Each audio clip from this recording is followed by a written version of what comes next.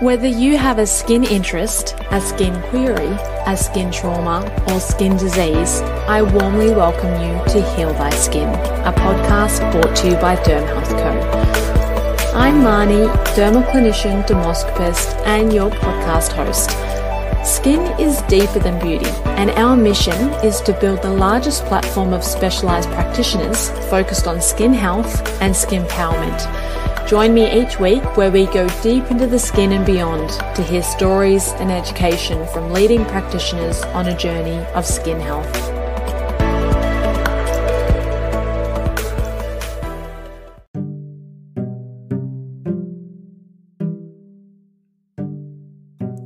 This episode is proudly brought to you by Venus Concept Australia.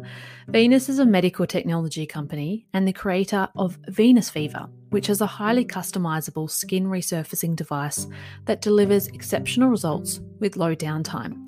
It's powered by nanofractional radio frequency and it has what's called smart scan technology.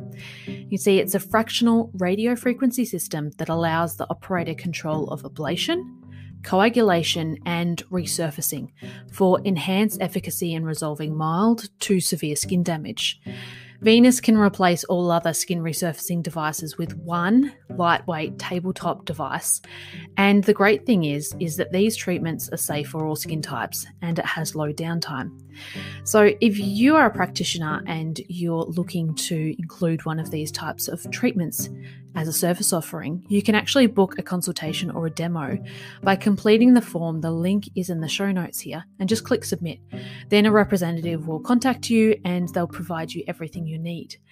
If you're on the other side and you're looking to have a Venus Viva treatment, then just jump onto their website, link in the bio, and they have a list of all the clinics with the procedures as well. So you'll be able to find someone close to you.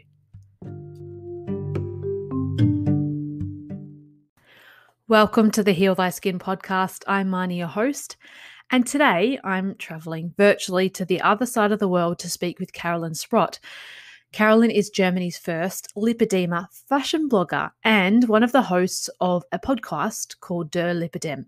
10 years ago, after leaving from work experiencing excruciating pain, she was diagnosed with lipedema and the diagnosis ultimately made her a stronger person, but her journey towards acceptance was not always easy. We talk a lot about that in this episode. Now she speaks at lymphatic events, she models for compression campaigns and clothing, and is continuously raising awareness for the lipedema community. This episode or this interview was one of Caroline's first English interviews ever. And it was so brilliant. She did so incredibly well. And she has a fantastic sense of humor. So I know that you're going to enjoy this conversation a lot. Um, the first question that I asked Caroline was what she thought was the biggest misconception about lipedema. Lipedema pain cannot be seen. It's painful and cannot be seen, only felt. And I think that many sufferers have to constantly struggle to be taken seriously in their suffering because the pain does not depend on the appearance. You can have small legs and have just as much pain as one with wider legs. And but I think you can't expect from everyone to automatically differentiate between normal and diseased fat. So there's this thing that not everyone with wider legs has lipedema and such, right? It's really complicated for people around them to, to understand what they are going through. And well, it's an insidious disease. It has not been researched enough, and its manifestations are just as diverse as the bodies of those affected, like millions of types, different shapes, and such. And misunderstandings do not only exist from outside, but also within the patient population. And one does not often agree on all the dimensions of the disease and the latest findings, and not even the doctors agree. It just makes things more complicated, and both for the patient and for the people around them. Mm, it certainly does. And I'd love for you to just share what lipedema is because in Australia, especially, it's not even really considered in our medical arena as a yeah, disease. I heard it a lot. Where I know it is over there, isn't it? Yes, we are very lucky in Germany because we are, yeah, one of the few countries in the world that treat illness well. Well, in, in short, lipedema is a chronic, painful fat swelling disorder, and it can only be treated conservatively and surgically. Well, currently it can only be treated like that, but not be cured you can do some liposuctions, the surgery you're doing, and you are not guaranteed free from symptoms after that. That's the problem. So you mostly have to continue with the conservatively therapy. And the thing is that it always occurs symmetrically on legs and arms. And this disease occurs, why this disease occurs has not yet been fully explained. And it's certain that there is a genetic predisposition and it gets worse with puberty, with pregnancy, with menopause. So there must be a connection with hormonal changes. And it usually only affects women. And it is estimated that it's like around 3 million women that are affected in Germany alone. So there must be millions of women worldwide being affected and suffering from it. And often go misdiagnosed. Yes, doctors say they are just fat or they do some sport or some dieting and sports and dieting does not cure anything on that. It makes things better. And if you are doing it very extremely, like bodybuilding, you can change yeah, the strongness of this illness. It can be getting really better, but you have to be extreme on it. And one does not often do this. Of course, especially because it's uncomfortable. Yes, right. It's really hard. It's hard. So you've talked about pain. What are some other mm-hmm. common symptoms associated with lipedema? Well, you have to distinguish visual from felt symptoms. Not only you can infer that you have a lipedema from the visual, but there are certain characteristics. Optical symptoms would be, for example, disproportion between the upper and the lower body, relatively slim on the top, but arms and legs are much wider and appear wider and it doesn't fit together. But it's more important, however, that the pain can only be felt and you can feel the pain never as a well, you can't see the pain, right? And you can feel this pain even with a light touch. Everyone feeling it feels it differently. It can be stinging pain, it can be strange pain. You can't really name it, you can't really show where it occurs.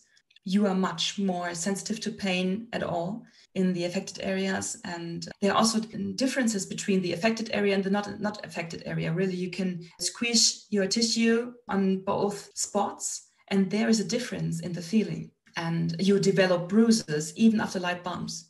And often you don't know where they come from. The extremities can feel heavy. And if the arms are affected, even light loads, such as blow drying hair, can be difficult.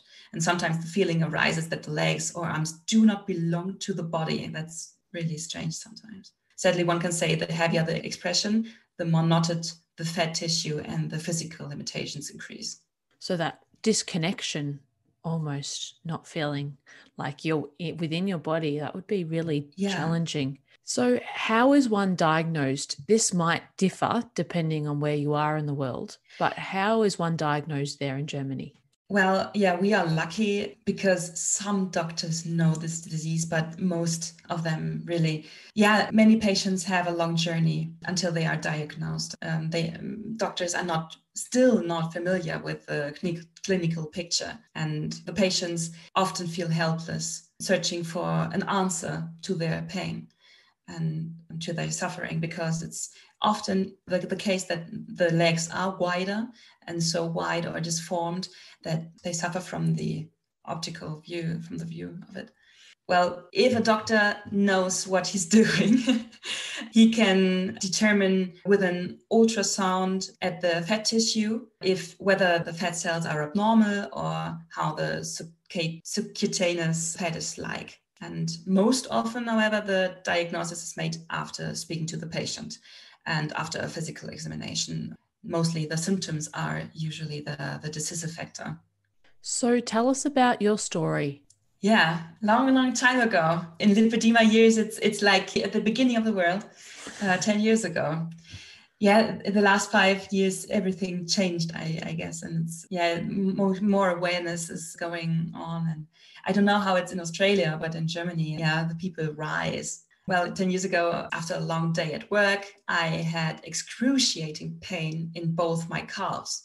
I was riding in a train and I really didn't knew where this would come from. And I didn't knew this pain. It was new to me because your, your calves don't, don't uh, sting or something just like that. And I was pretty lucky because I was diagnosed shortly afterwards.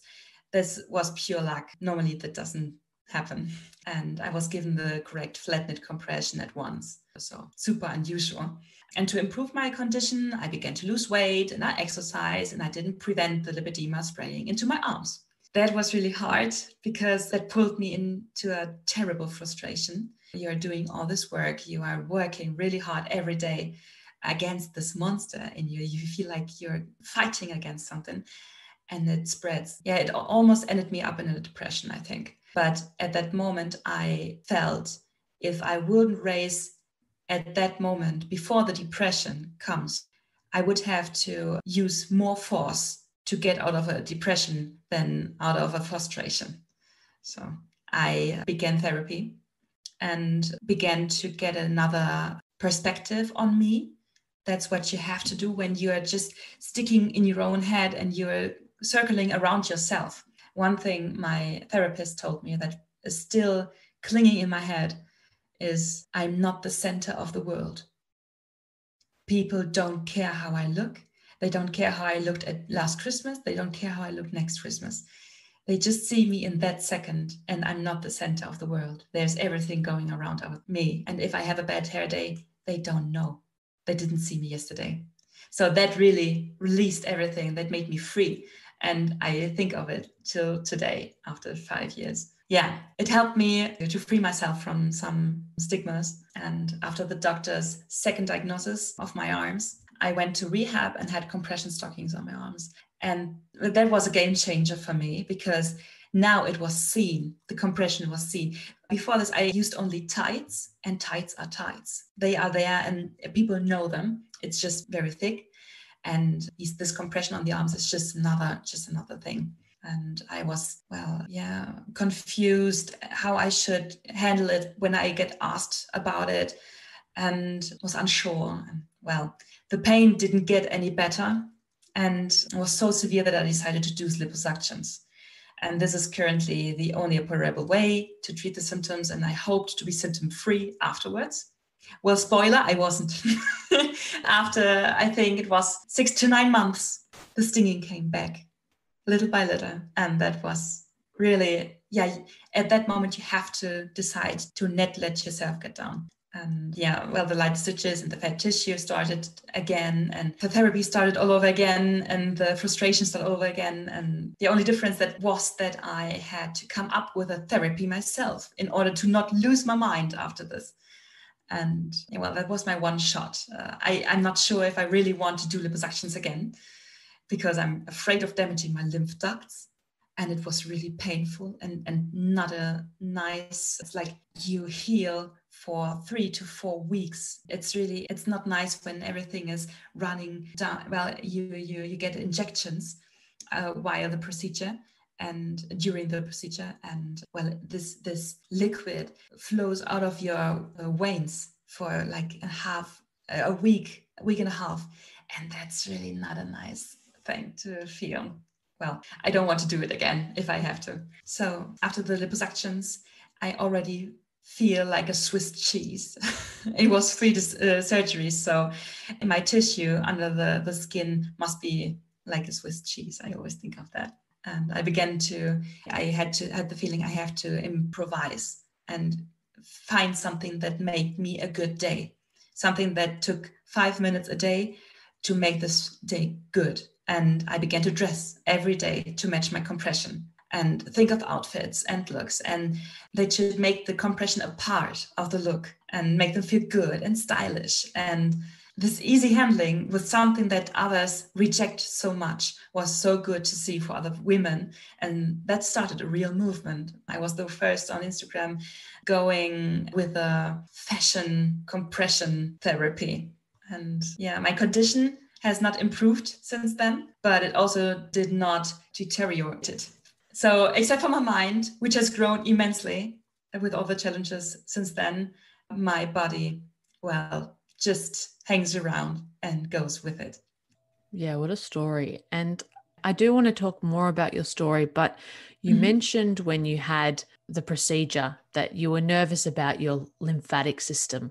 How is lipedema different from lymphedema? Because they often get mistaken from each other, and sometimes you can have both. Right. It's pretty there. There are few cases where lymphedema is there from the start. There are many, many cases where it's really difficult to diagnose which was first. But well, it's not actually that difficult to differ for both illnesses.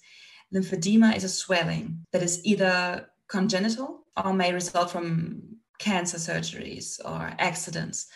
And above all, it causes not only body parts to swell, but also the back of the feet, back of the hands to swell. And they are always slender with lipedema. And if you press into the lipedema tissue at a finger, the bump persists for a while. And the different, uh, well, you can push it with a finger against your leg. And if there stays a bump, you can say that there is a lymphatic problem.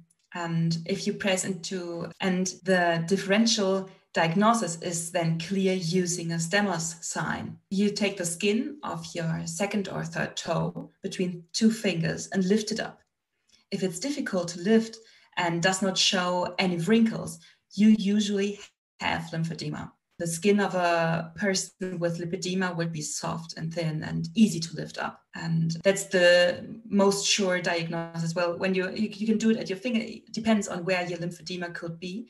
You can have it in your face that's pretty harsh uh, because then you have to to wear compression in your face like a mask. You can rub some banks up, but I wouldn't prefer that. Or just take me with you at least.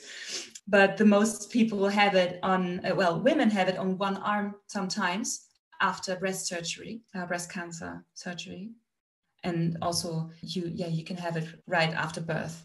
Thank you for clarifying because we have covered lymphedema on the podcast and even mm-hmm. lipedema with a plastic surgeon. But I think it's important to differentiate between them because Absolutely. they can appear similar to the untrained eye. Yeah, it can occur together when it's really like a fast state of the disease.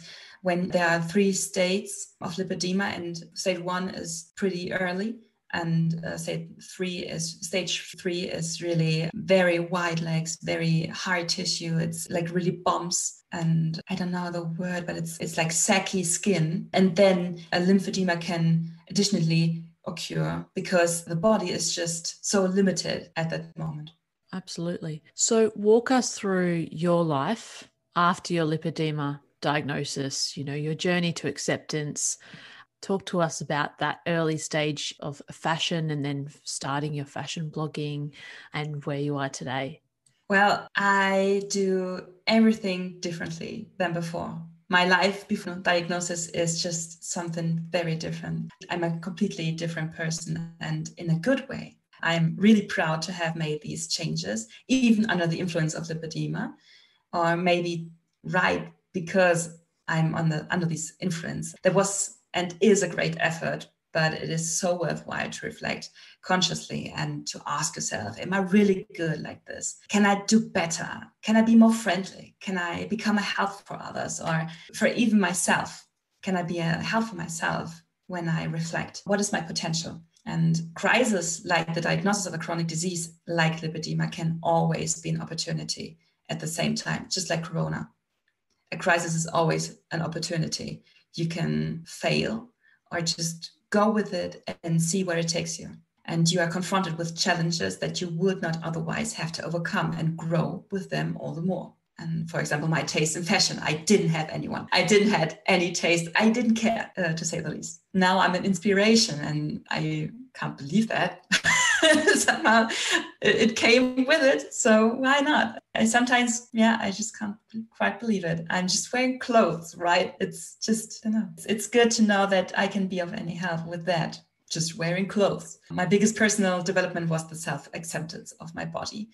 With a lot of weight loss and weight gain, my breasts started sagging. And I developed a huge complex out of them. A huge complex. Really like, don't show anything. Every guy must watch my sacking breasts in the gym or at the like this. I'm not the center of the earth. Nobody cares about my breasts. and if they, whether they are sagging or not, nobody cared. And I thought that wasn't I couldn't be sexy with this. And after years, after years, I really just accepted that there are men that liked that look. They like it. They don't need to stay up like the young Venus. It's just, yeah, it's okay. It's fine. They are breasts. I take breasts.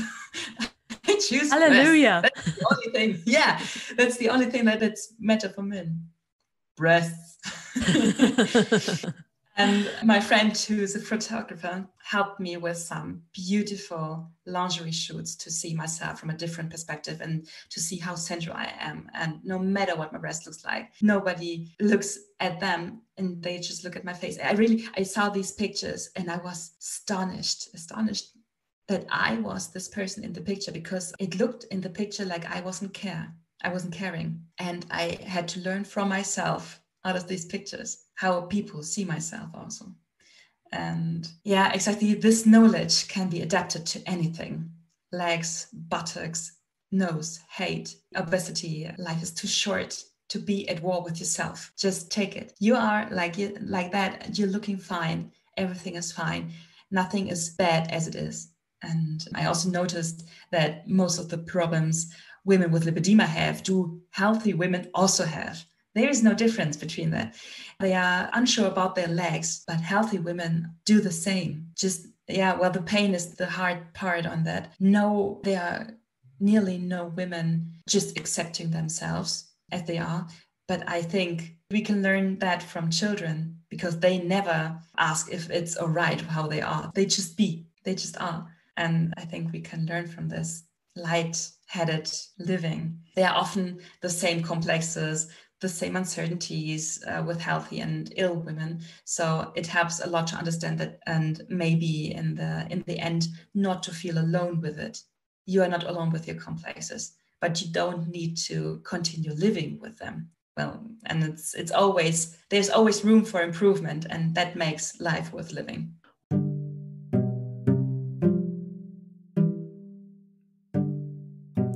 This episode is proudly brought to you by Venus Concept Australia. Venus is a medical technology company and the creator of Venus Viva, which is a highly customizable skin resurfacing device that delivers exceptional results with low downtime. It's powered by nanofractional radio frequency and it has what's called smart scan technology. You see, it's a fractional radio frequency system that allows the operator control of ablation coagulation, and resurfacing for enhanced efficacy in resolving mild to severe skin damage. Venus can replace all other skin resurfacing devices with one lightweight tabletop device. And the great thing is is that these treatments are safe for all skin types and it has low downtime.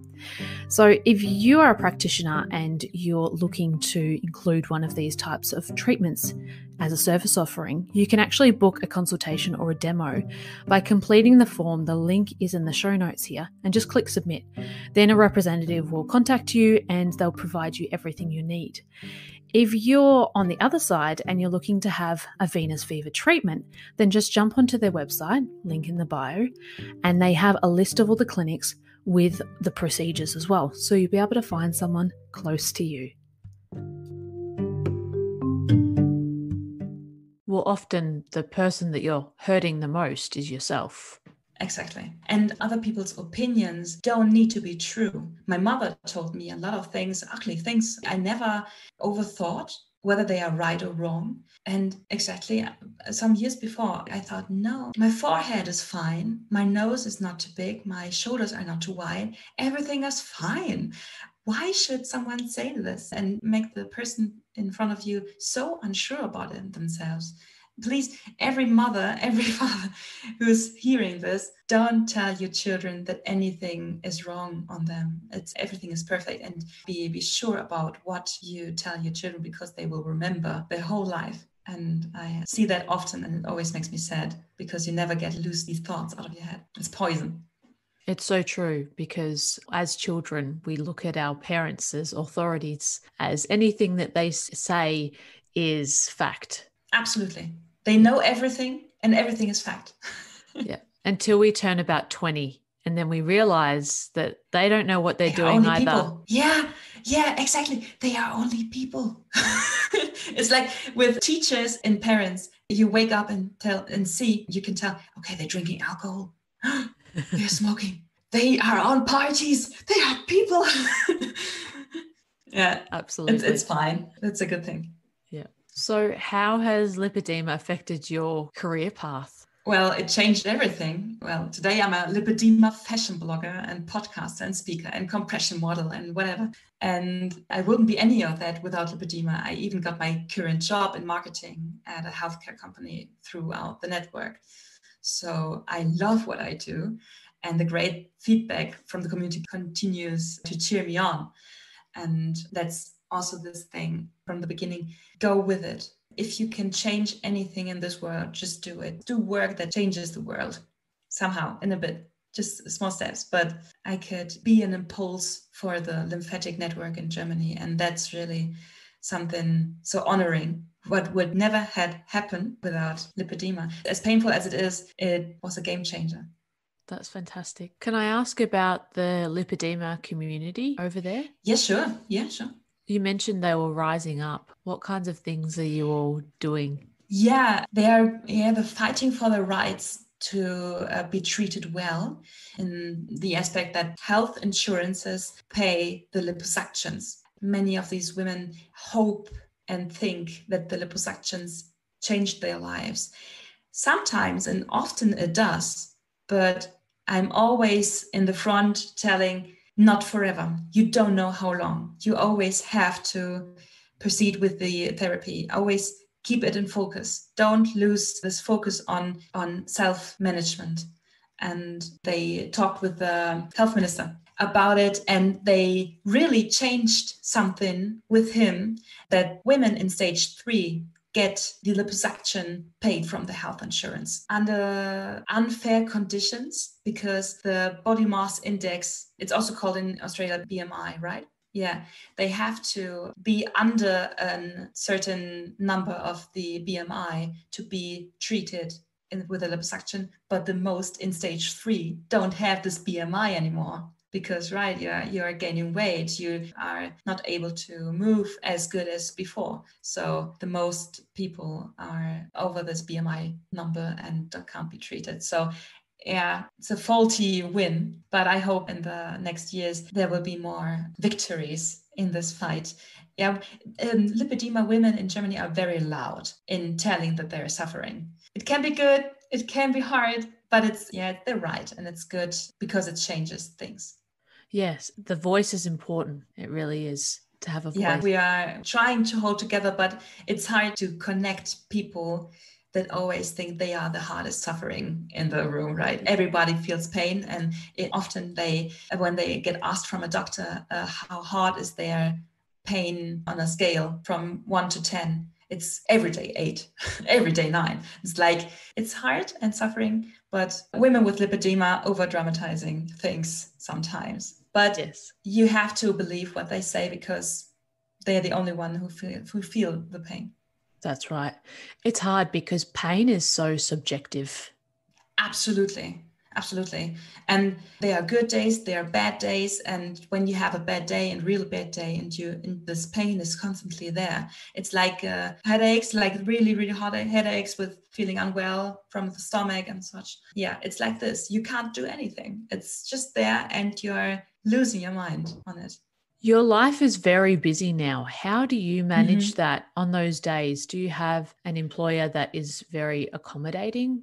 Yeah, I shorted my week on a four day basis. And every Friday, I use my time to work for myself. And well, that doesn't, that's not enough for sure. And sometimes I work really until night because I can't do otherwise. I really, uh, I took a nap uh, before uh, because I worked till 1 a.m. last day and it's Wednesday at the moment. So if I'm in the flow and I want to get things done, I need to do it. And I'm sadly one of these those people who are always thinking on the next project, on the next project. And I have immense projects on my hand and yeah, I have one one coming up and I can't stop working and i'm so with all my passion in, into it and all my heart and it, it keeps me going. So weekends uh, fridays and after the work. And i manage it in doing it. And really while corona we had a lockdown here like how many months was it? Like two months i think. Two three months. And i had the first free time in about four years because sometimes I, uh, well, normally I really visit a lot of events, lymphatic events, and work there as a speaker. And those events occur on weekends. So my weekend when I drive somewhere is also, well, gone with one event a day. And yeah, I first felt free time after four years. And yeah, it made me think. And here I am again, sitting at 1 a.m. So not learning at all. but as long as I'm having this passion, I have to keep going because I have to put everything out there before I'm sad not doing it. And it's your legacy when you find yes. something that you're so passionate about, even though it's come from a difficult time in your life, it is your legacy and it's your input into the world which it is a beautiful thing to have. I think so. It's it's so um, flattering to have a voice that's wanted to be heard. And I'm being a help by accident. I didn't knew I would be able to do this. You don't wake up one day and say, wow, I'm a speaker. Hear me, people. and and also model. I you don't wake up and think, fashion, I'm looking good. Photograph me. Shoot me. do it. I'm uh, fabulous. Yeah, I, yeah, I'm fabulous. I'm looking good. Some women really do. They ask me if they can if i can speak to the enterprise i'm working with with a company i'm working with if they can be also a model in the next campaign. And i look at the picture and they think well you have some self-esteem. It's like really it's nice to see that some women really yeah just feel free with it. And it's good. I'm the one always doubting on myself. Like for the first photo uh, photo shoot it's hard because in germany a photo shoot really just is shooting I was asked for the first photo shoot whether I want to be a part of it. And I thought, oh, nice. I can write an article about it. I can be backstage. I can see what it's looking like to do this. And I get the call sheet, and I was one of the models. And, I was like, you must be kidding me. How, how, I can't model. I never had done it. And that's a production that's really worth some 10,000 of euros. How can you dare putting me as a model into I don't know if I can do this. And I was super nervous. And there was a professional model next to me. And I was like, what if I look like a derp? well, it went fine. And they, they are booking me all over again and again and again. It's okay. I'm fine with that. But yeah, that was exciting. So funny things happened to me uh, since. yeah, is- it's interesting because our self acceptance is so important but sometimes it's the external acceptance and the external encouragement, such as that agency saying, Caroline would be fantastic. And you don't even know it yet, but they know you're going to be fantastic. But that external influence can help to, I guess, launch you into that journey of realizing that you are capable. It's exactly that. This company always saw something in me that I didn't saw until then. They told me, Would you like to be a speaker? Would you like to uh, model in our campaign? Do this, do that. And it's always like, Yeah, okay, just do it, just go with it. Um, and uh, yeah, get out of your comfort zone and expand your horizon. And that's really that's exciting. But yeah, you have to believe others um, when they say, "I think you could do this," and just get over your self doubt and just do it try and grow with it. My first job as a speaker went didn't went well. but who, yeah, who cares? Uh, they went with it, and I had some nice feedback too. So yeah, it's okay. And next time you do it better. Next time you do it better. And today I'm really feeling comfortable in it and get laughs. And it's good to know that I don't need a marketing because it's right of mouth that I'm good. So a good feeling. I worked on this. Yeah, fantastic. You were the co host of the first or only lipedema podcast in Germany with over 100 episodes. How did that start? Well, my co-presenter Natalie Stark. That's a that's an easier name than mine. Stark. It's called in English. Strong. Natalie Stark founded the podcast under the name Mind Body Life and conducted interviews with exciting personalities from the network as a concept. And I was one of her first interviewees, and we hit it in right away. And I always wanted to start a lipedema podcast myself and needed someone to talk to. And well, Natalie and I are good at chatter and are absolute lipedema experts. Of course, we had to do the project together. So we reborn her podcast and gave our baby a new name, the Lipedema Podcast. And uh, since then, we have been providing important information on self management uh, with lipedema and everything you have to know for a good life with it. And it's in a relaxed and entertaining way. So it's good for the women affected to hear someone talking normally about it, not always suffering. It's cheering up somehow and just giving a good tool at hand. That's fantastic. Now it is in German. So for any of our listeners who speak German, maybe then your native tongue is German, then make sure you check it out. The link will also be in the show notes as well. And for are anyone there a lot of German are there a lot of German in Australia? Well, Australia is very multicultural. So we have a, a wide variety of people from all over. Yes. That's cool. Yeah. So I'd just like to also speak about the fashion. And you mm-hmm. started as a fashion blogger. Lots of people might not think, as you described, that lipedema goes hand in hand with really nice fashion choices and that clothes choices can be limited. But you proved that wrong. What are your top lipedema, I guess, go to clothing items? The stores will be different between here and right. Australia, obviously. But what is some advice for dressing for lipedema? Well, I love kimono cardigans. It's the perfect item for wider lipedema arms. And also for me, I don't have much uh, upper arms because I'm, I had these surgeries, but it's very nice, a very nice feeling over the compression. And they just offer enough space and flatter around your body and just gives a good silhouette and um, then I almost only wear pants from a German fashion label for li- women with lipedema, uh, which luckily sends them all over the world. So uh, we can certainly link that into the show notes if someone needs exactly these items. They are really just made for from lipedema girls for lipedema girls.